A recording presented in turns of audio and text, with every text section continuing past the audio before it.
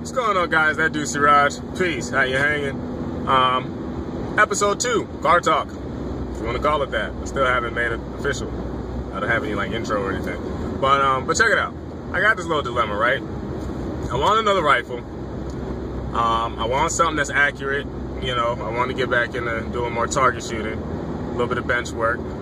I don't have a lot of money. I've been watching the cost of ammo thanks to people bugging out like Obama's gonna, you know, take everybody's gun. Sorry, I just don't believe it, okay? It's not in his agenda. There's too many of us got guns. They're not gonna try to go through with all this crap. The gun ban failed. Get over it, okay? Stop buying up and stockpiling, you know, so much ammo that you couldn't even shoot this crap in a, you know, a lifetime. And then reserves get short, ammo costs go up, and people like me are pissed off because I'll go to Walmart or I go to, you know, Green Top, I go to Dick's Sporting Goods, and 20 rounds of 223 ammo cost me $20, okay?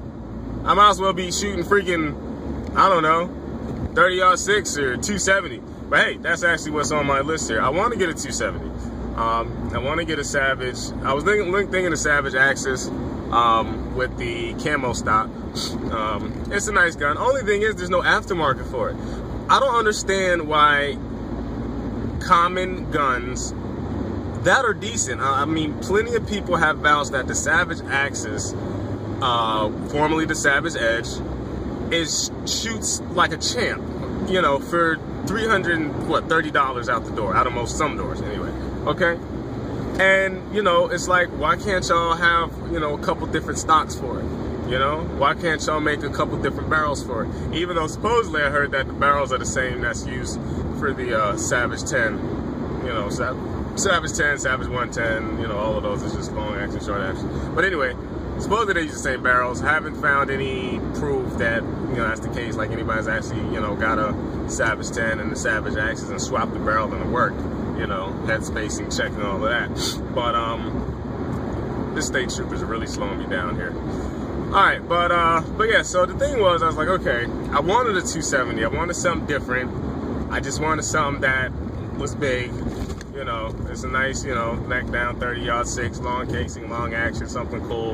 You know, show the guys who.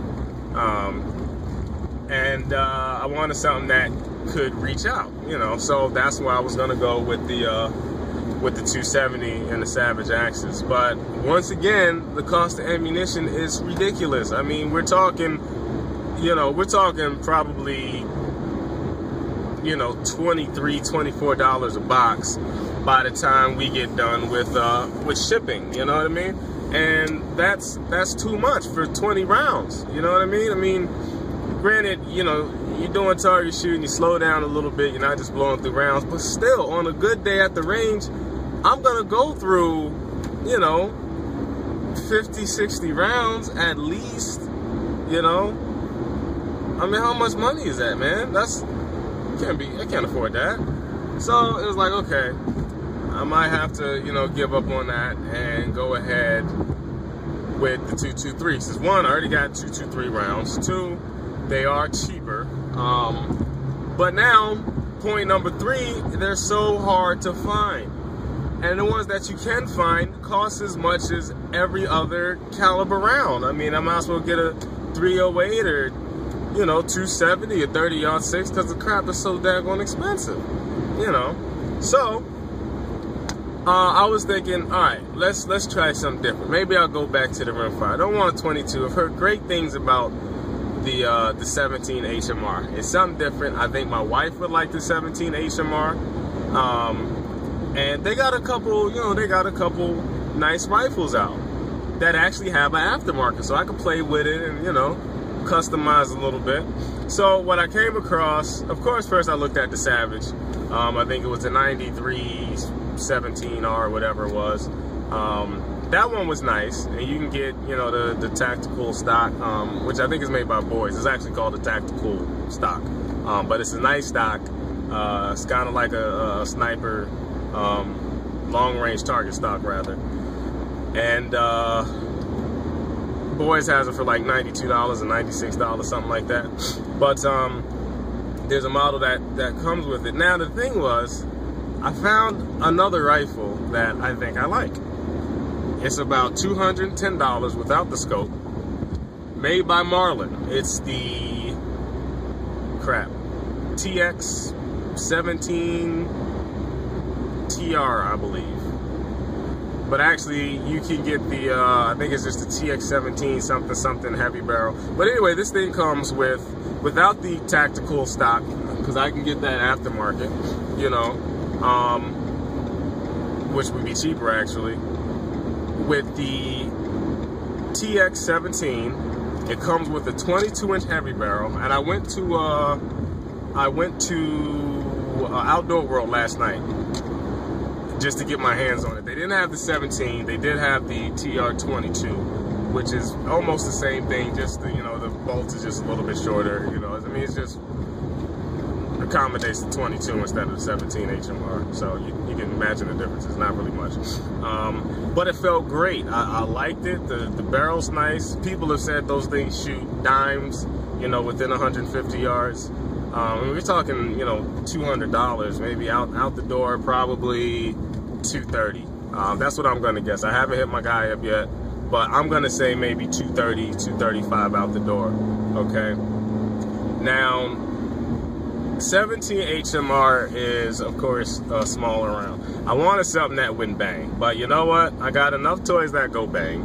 Um, I don't like the way ammo is costing nowadays. It's getting ridiculous you know, it's almost to the point where it's like, you know what, I'm just going to keep my stockpile of 223, sit on it for a while. I got to get practicing, but, you know, I'm just going to hold on to it.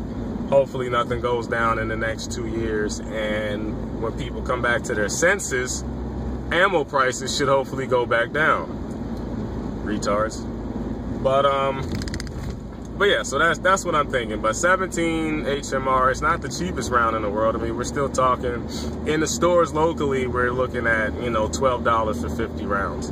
You know, that's still a big difference from you know 50 cents a round or 70 cents a round or a dollar 20 cents a round. Okay, so let me know what you guys think. Um, I look for videos of the Marlin TX17 and there's not a lot of videos about it, which to me is kind of cool. That means not a lot of people have that rifle, you know, and that would be something that, you know, something different that I would have that maybe people aren't, you know, necessarily up on, and I can give my two cents about it, give a little, you know, little range talk review.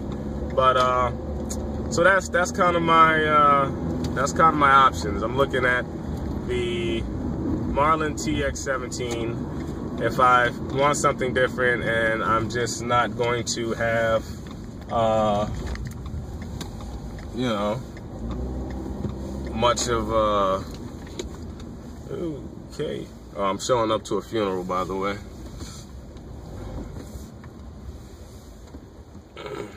And I'm not going to have much of a, uh, you know, a lot of ammo to shoot, then I will um, maybe go with that 270.